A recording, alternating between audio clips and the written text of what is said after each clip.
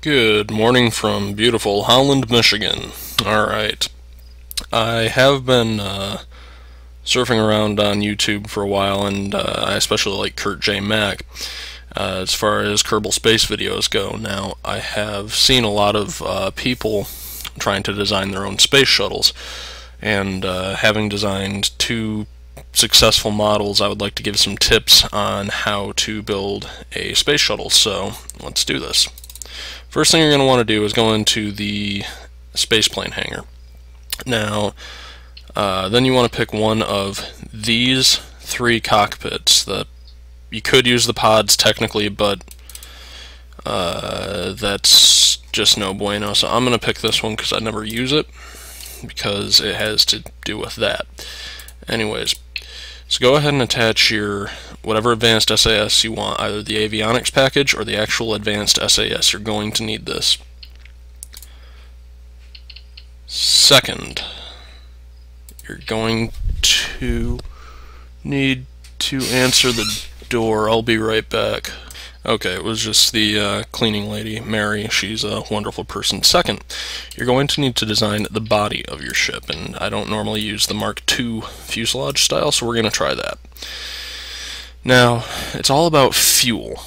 Uh, this has 75 units of fuel, liters I suppose it is.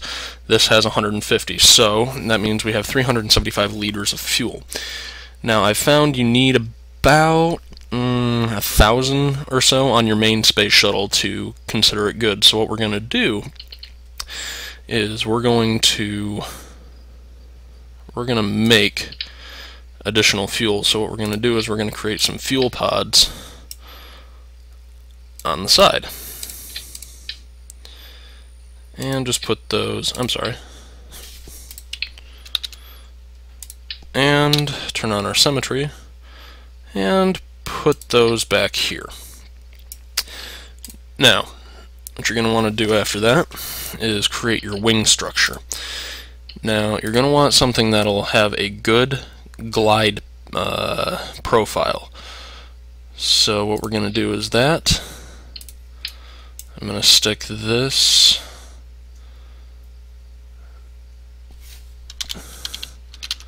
on holy crap. Alright. Idea number two. And this is what happens when you design space shuttles. It just... They get kind of complicated really fast. Alright, there we go. So that is the main body of our space shuttle. Now, these are not cross-feeding, which we need. Because what we're going to do is either we're going to put one rocket engine right here, or two rocket engines right here. Now, I prefer uh, the... Hmm... Alright, yeah. I'm trying to think of my center of mass. Uh, we're going to go ahead and do that, and direct all of the fuel into this area. Now we're going to need an engine, and I prefer that engine. And if you want, you can smack some parachutes on the back of this thing. Now, the next thing you're going to need is some control surfaces. So we're going to put on the standard control surface on that wing. We also need a forward control surface, much like a submarine, because uh, the atmosphere is absolutely like soup at sea level uh, on Kerbin. So we're going to go ahead and make our control surface behave, hopefully. There we go. There's our next control surface. So now that's the profile of our ship, which I'm going to call the Trout 1. So the next thing we need is a tail fin setup. Now, there are multiple theories on how to do this, and because I never do this one, normally what I do is I put two out on the wing like that, and put a control surface on it. This time, I am just going to trash that because it's angled. I'm going to put one on the back of the space shuttle.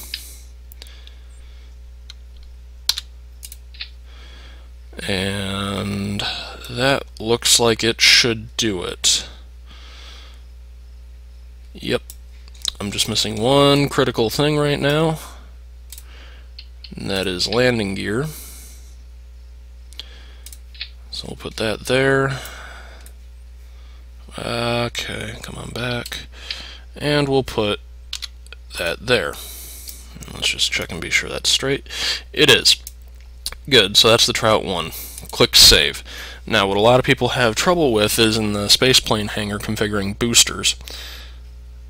Uh, do I want RCS on this?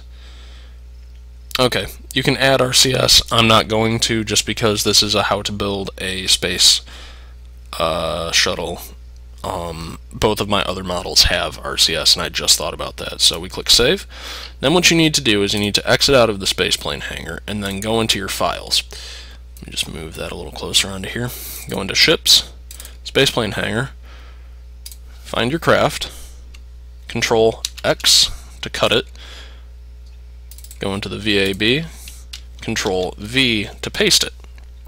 Now that will put the Trout 1 into our VAB, so we just go ahead and back out of that and get back into Kerbal Space. Now, when we click on the VAB and go to Load Spacecraft, we will magically have the... Holy, I have too many ships. I need to clean my files. Uh, Trout 1. Now you're thinking, great, Trout 1, awesome. But it's uh, at an angle. Click on that, bring it up. Now it's riding really close to the uh, uh, tower, so what you do is try to get it to behave. Um,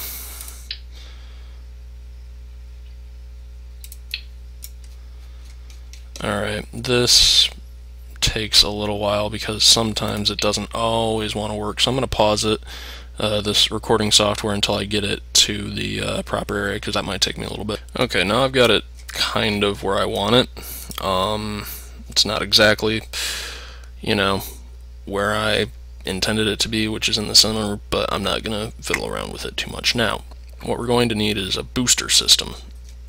Now you could go either liquid rocket or solid rocket booster system, and I personally think we should go with a liquid system on this one, just because the liquid system will last a little bit longer.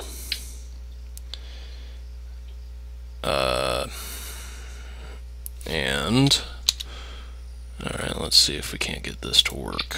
Now what that should do is on both sides of the craft there should now be radial decouplers, and there are. So, now what we're going to do is we're going to construct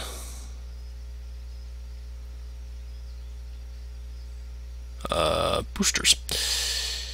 And there's our first piece of a booster, and what we're going to do is we're going to build the boosters so that they're capable of supporting. Come on now. So they're you are kidding me. Capable of supporting holy criminy Christmas uh, one fourth of this craft. You know what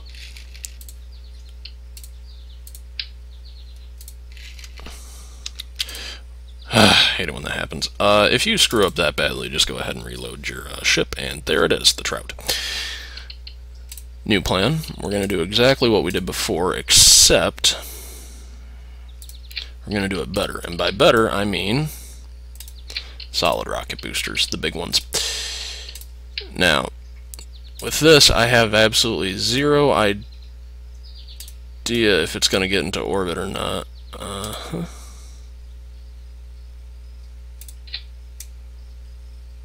Yeah, see, here's part of the problem with SRBs. They sometimes get onto that thing and they sometimes don't. So once you configure a booster system, it, uh, it works out pretty good. Now, I'm not really going to mess with the Trout 1 right now, just because uh, I'm running out of uh, you know what? Yeah, I will mess with it. Um, come on, you stupid piece of crap.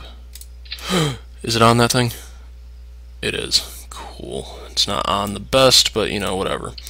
The other thing I like to do is, uh... make these into stable solid rocket boosters. Now, my problem with this craft is I would really love to have some liquid boosters, but I can't really make those right now. Yeah, see this this is the problem that you run into is with the boosters. So I'm going to show you guys also an alternate way to take care of the boosters. What we're going to do is we're going to save up this trout one, go out of here, back into the space plane hangar because I'm pretty sure I still have a trout in here, which I do. And this is another way to take care of the uh, boosters, is to assemble the... Yeah. The other way to take care of the boosters is to assemble it in here. And the way to do that is to put this here, zoom out a bit, and then build it like that. Uh, I don't know why this. Oh, right. Nah, derp. I need to do that in order to be able to build the boosters. Alright, this will make life a lot easier. What you do is you do that, that, that, and uh, it's also a lot of trial and error with um, building space planes.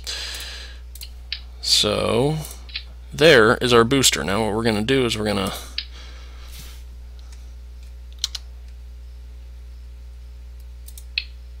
make this vertical again, save it, go back to our files, delete the old trout craft that I have in the VAB, pick up the trout craft from here, go back into the VAB, and put the trout craft in the VAB. So now we're going to get out of here, go back into here, load up a spacecraft, the trout, and we should have our liquid fuel booster right there. Next stage, go ahead and turn on symmetry uh, times 2. Next stage is to match that up, grab this,